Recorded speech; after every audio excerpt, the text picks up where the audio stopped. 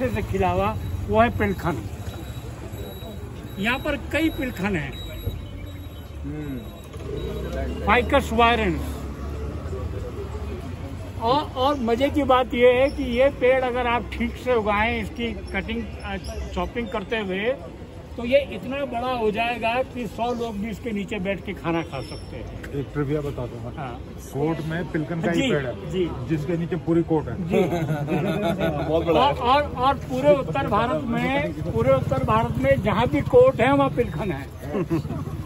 Public places पे लगाया जाने वाला है। जहाँ पिलखन है वहाँ कोट है।